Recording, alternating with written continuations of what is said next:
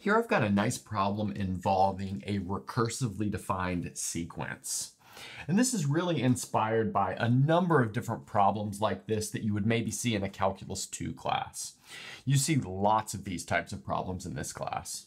Okay, so let's define our sequence, which I will denote by a sub n, by a1 equals 1. So that's like our seed. And then an plus 1 will be the square root of 2021 plus 42an. And that's going to be true for all n bigger than or equal to 1.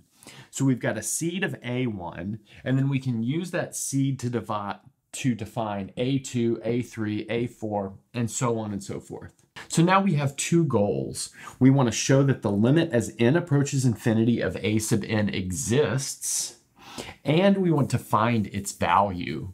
And it might seem strange, but we're going to do this a little bit out of order. You might say, well, that seems a little bit like cheating, but really it's not because we will find the prospective value in order to use the monotone sequence theorem to show that it exists. And knowing its value will help us find an upper bound for the monotone sequence theorem.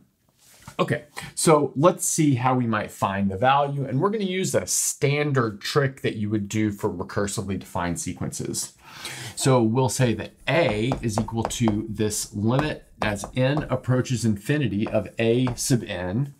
So that's assuming that the value of this limit exists. But then that is exactly the same as the limit as n goes to infinity of a sub n plus 1. So that's pretty clearly true. But the good thing about this is we can apply the recursion to an plus 1. So we can write this as the limit as n approaches infinity of the square root of 2021 plus 42an. Nice. But now the square root function is continuous. Well, it's continuous for all positive real numbers, but definitely we're in the range of positive real numbers here. So that means we can bring this limit inside. But what's that going to give us? That's going to give us the square root of 2021 plus 42 times our limit as n goes to infinity of a sub n. But we already assumed that this limit was equal to a. So that gives us the square root of 2021 plus 42a. Now, where can we go from here? Maybe the most obvious thing to do would be to square both sides. So that'll give us a squared equals 2021 plus 42a. So again, we got that from squaring a here and then squaring the square root, thus canceling the square root. Okay, but notice we've got a quadratic equation for A. And I think you guys probably all know how to solve quadratic equations. We probably want to use the quadratic formula if this doesn't factor easily. And this does not factor easily. And what we'll end up with is A equals 21 plus or minus the square root of 2,462. So those are the two possible values for the limit. But in fact, there's really only one of those that makes any sense, and that would be the one with a plus. And why is that? That's because if we have a minus there, then we would have a negative limit. But it's pretty clear that all of these numbers are positive. We'll end up showing that, but needless to say, that's a pretty good assumption. Okay, so what have we shown so far? We have shown that if there is a limit, the limit is this number right here, this 21 plus the square root of 2,462. Now what we have to do is show that this process was legal, and we can do that by showing that the limit exists. Okay, so let's maybe get rid of this, and then we will show that this limit exists. We just got done doing a calculation that will imply the limit of our sequence is 21 plus the square root of 2,462 if the limit exists in the first place. And now we're going to finish this off by showing that this limit exists in the first place. You might say, why did we do this out of order? Well, that's because we're going to use the monotone sequence theorem. And in order to show that it's bounded, it's useful to know this number so that we can come up with an upper bound. Okay, so let's recall that the monotone sequence theorem says that if an is monotone and bounded, then its limit exists. So we'll prove these both. Let's start by showing that an is bounded, and we'll in fact show that it's bounded below by zero. That's actually pretty clear. We're not going to show that. We can talk through it a little bit. Notice that each an is most definitely bigger than the square root of 2021, but that's positive, so we're good to go there. Now we need to pick a nice upper bound. How should we do that? Well, let's look at this number right here and find the smallest thing bigger than what's in the square root. That is a perfect square. That will allow us to bound this above by something that's nice and easy to work with. But the closest perfect square above this would be 2500. That is 50 squared. So that's what we'll bound it above by. So this is going to be less than 21 plus the square root of 2500, which is the same thing as 21 plus 50, which is 71. So let's maybe just erase this and we'll show that this is bound between 0 and 71. Okay, so we'll end up doing this with induction.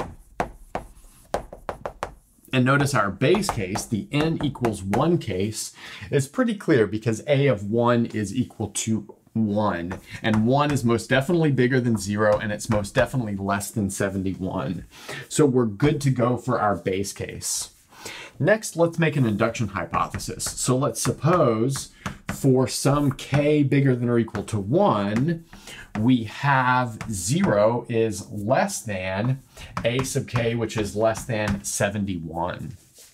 And next, we will operate on all three portions of this inequality by the recursion that will take ak to ak plus 1 right here. Okay, so let's see what that'll give us. So we will first multiply by 42. So that's going to give us 0 is less than 42 AK, which is less than 42 times 71.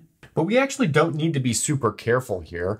42 times 71 is less than 3,000, so we can just bound this above by 3,000. Okay, now we will add 2021 and take the square root of both sides. So that's going to give us 2021. The square root of that is less than the square root of 2021 plus 42a sub k, which is less than the square root of 2021 plus 3000, which is 5021. But next, it's pretty obvious that this is bigger than zero. And this middle term is equal to ak plus one by our definition over here. So we have zero is less than ak plus one. And then ak plus one is less than the square root of this. But again, we're going to bound it above by something that's larger than that. And we'll bound it above by the square root of 5041. You might say, well, why did we choose that? Well, 5,041 is in fact 71 squared. So we have this is equal to 71. So let's see what we've got. We have AK plus 1 lies strictly between 0 and 71, which finishes the inductive proof of this claim. Okay, so let's get rid of this and we'll show that this is also monotone. We will show that it's increasing. We just got done showing that AN is bounded. It's between 0 and 71. Now we'll show that it's increasing. Thus, it will be monotone and bounded, so the limit will exist. So this calculation that we did earlier in the video was allowed, and we actually have our limit already. But a priori, we do not know that this was correct until we finish showing that this is a monotone sequence. Like I said, in this case, we're going to show that it is increasing. We're going to do this by induction again. So our base case, well, that's pretty clear. That's going to be A2 is bigger than A1, which is equal to 1. We'll notice that A2 is going to be 2021 plus 42 and then take the square root. That's clearly bigger than 1. I'm not going to write anything more out about that.